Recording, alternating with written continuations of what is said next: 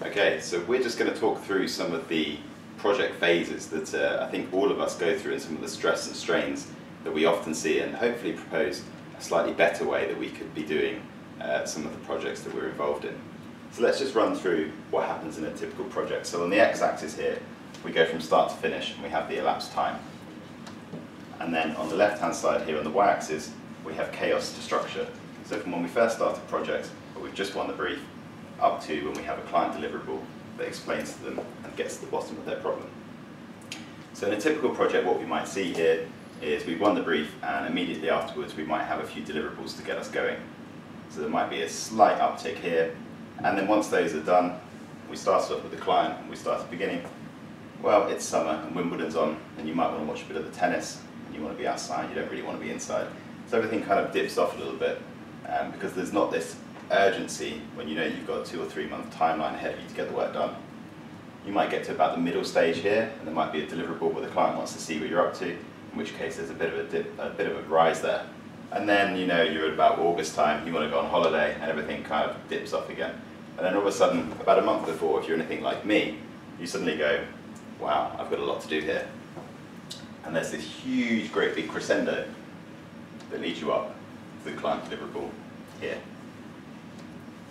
So if we just look, we have the client deliverables here, here, and here, which is the upticks.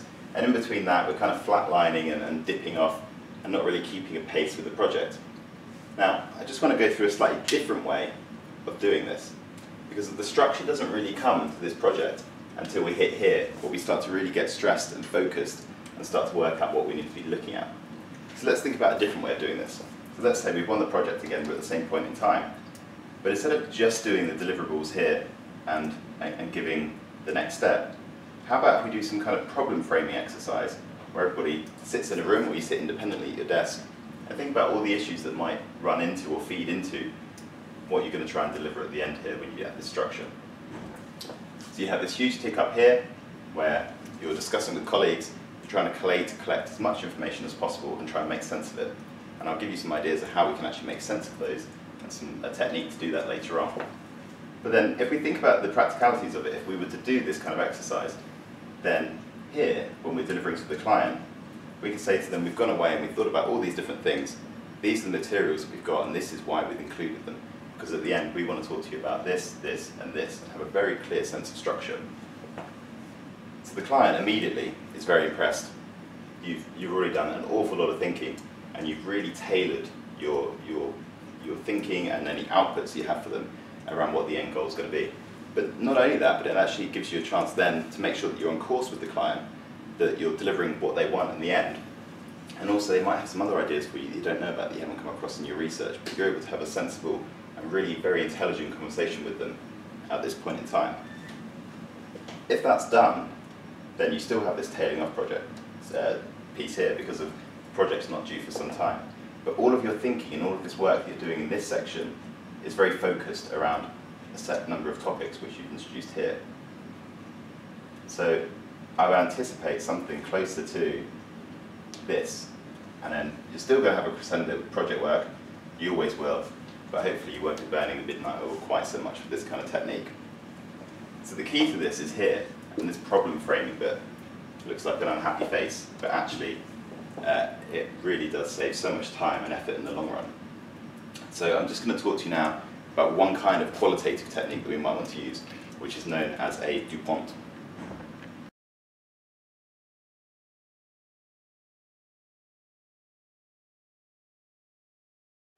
Okay, so what we're going to go through here is we're going to go through a Minto model, which is a qualitative way of looking or framing a problem and trying to get down to all of the, the layers that we need to look at to get to an end product to answer the question for our client. So here we're going to look at should client X launch a new chronic heart failure product. Now, immediately when we're thinking about this, we firstly need to know, is it actually an attractive market to go into? So is the market big? Is it growing? And is the cost of treatment growing in line with the pace of change? So immediately, we have three things that we can be looking at here um, to work out and gauge the attractiveness. If that's the case, and we say, yeah, you know, our initial look says that there might be something here. We then go to the next level. Is it possible for client X to actually make strides and get into this market? So what might we want to look at here? Well, we already know that it's attractive. So surely other competitors might have also tried to move in as well. If so, what have they done? And how have they done it successfully? We then might want to look at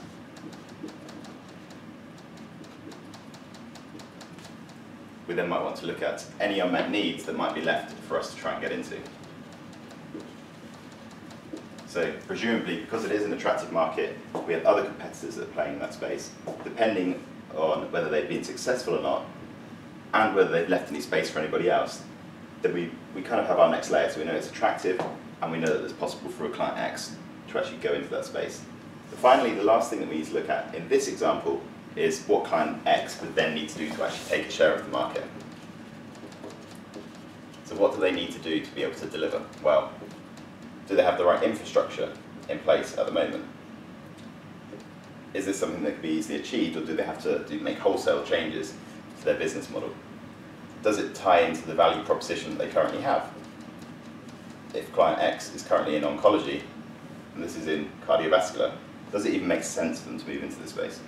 I know they're interested in it, but do the infrastructure changes they have to make and the messaging they have to put out to clients actually tie in? Does it make sense? Um, and then finally, tied in with both of these is what are the risks? If it's a small company, if client X is a small company, perhaps actually they're better off staying into the niche market they're currently in rather than trying to move into something as big um, as chronic heart failure. So immediately what we have here is we have the attractiveness of the market, whether it's possible for client X to actually move into it, and then what they need to have been able to deliver. And immediately by laying out in this visual way, you can start to see and draw linkages. So tied in with whether it's big and it's growing, does the cost of treatment tie to that? Now, that also ties in here with the value proposition, ties into what other competitors are doing and the pricing that they've done on these products, and it ties into whether or not that's been successful from a market access and a payer's point of view. If we look at the unmet needs here, well, if other competitors are doing it and they've been successful, then what else is there left for us to do? How might we actually be able to play in it? And then what risks might be associated with trying to meet those unmet needs in a very niche and busy marketplace? By doing this kind of exercise, which is, is very quick and very simple to do, we're able to immediately lay out these nine different areas that we need to be looking into and then tie them together and able to come up with our final message for our clients.